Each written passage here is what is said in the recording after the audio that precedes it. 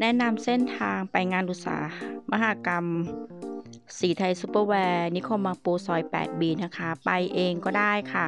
นั่งรถสาย 16 สังเกตที่เป็นรูปรวงข้าวนะคะ ไม่งั้นจะไม่เข้าในนิคมบางปูนะคะ เริ่มต้นกันเลยค่ะ ถ้าใครไปรถยนต์ให้ปักหมุดไปที่นิคมอุตสาหกรรมบางปูนะคะ วิ่งตาม Google Map มาก่อนเลยนะคะ แล้วทางเข้าจะอยู่ทางด้านซ้ายมือ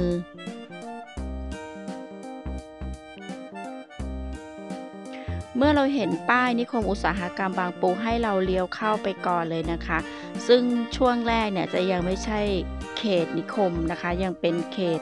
ส่วนบุคคลอยู่นะคะ เราขับเข้าไปเลยนะคะ เป็นรถทั้งหมด 4 เลนคือส่วนการไม่มีเกาะไม่มีเกาะกลางนะคะ2เลนส่วนการวิ่งตามเข้าวิ่งตรงเข้าไปเลยค่ะ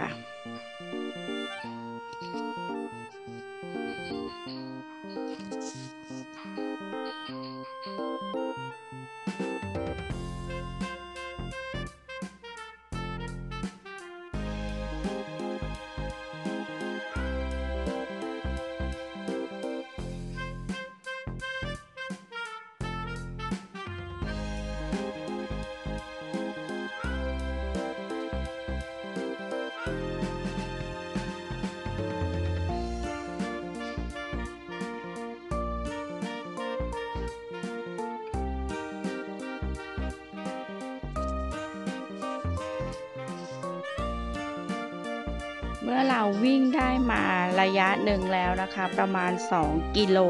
จะเข้าเขตนิคมอุตสาหกรรมบางปูแล้วนะคะ เริ่มจากด้านซ้ายนะคะจะเป็นซอย 1B นะคะ ตรงนี้จะเป็น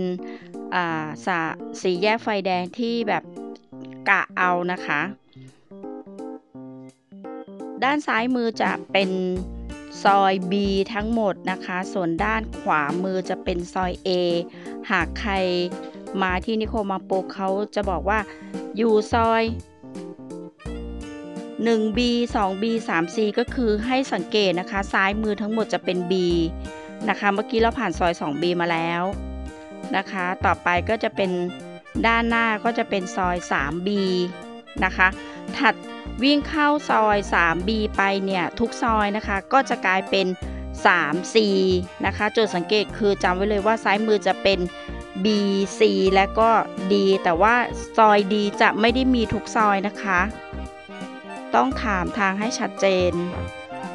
ว่าว่าเราจะไปสถานที่ต่อไปด้านหน้าจะเป็นซอย 4B นะคะ ขวามือก็จะเป็น 4A เรายังขับรถตรงไปเรื่อยๆ เพราะว่า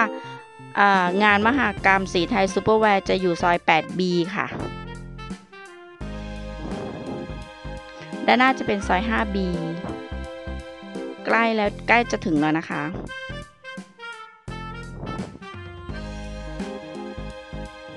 ช่วงวันที่ถ่ายเป็นวันเสาร์นะคะ จะวันเสาร์ช่วงสายๆจะเงียบนิดนึงแต่โดยปกติแล้วนะคะรถจะเยอะมากด้านหน้าเป็นซอย 6B นะคะ โดยปกติวันทำงานนะคะ ช่วงเวลาเข้างาน8โมงเช้าแล้ว5โมงเย็นนะคะรถจะหนาแน่นมากนะคะ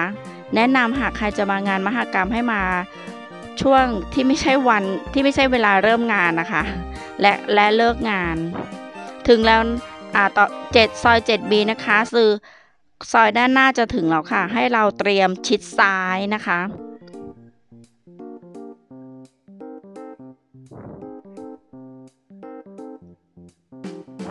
รถไม่รถไม่ได้ว่างอย่างนี้เสมอไปนะคะ ปกติริมนี้ก็รถจะจอดแน่นหยุดเชียวค่ะ วันนี้มาเช้า เลี้ยวซ้ายค่ะนะคะหาที่จอดรถได้เลยค่ะ จอดได้ทั้งสะนี้ดะนี่ทางเข้านะคะทางเข้า จะเห็นละนะคะเข้ามานะคะ ติดตั้งเต็นท์ชั่วคราวไว้ให้นะคะ หาที่จอดรถจอดได้ทั้งซ้ายและขวามือเลยค่ะ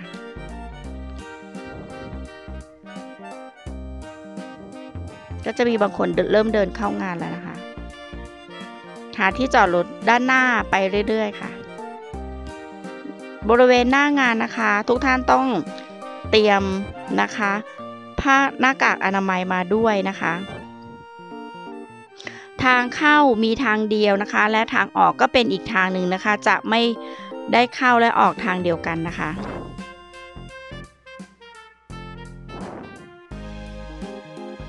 ก่อนเข้างานเหมือนทุกที่ค่ะ นะคะ มีการวัดอุณหภูมิแล้วก็ลงทะเบียนไทยชนะนะคะ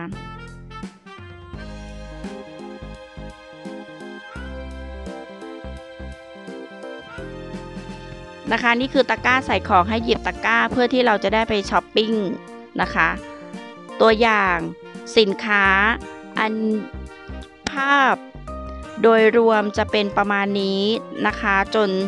คลิปจบยังไงขอให้ทุกท่านสนุกกับการเลือกซื้อสินค้า คุณภาพดีราคาประหยัด สวัสดีค่ะ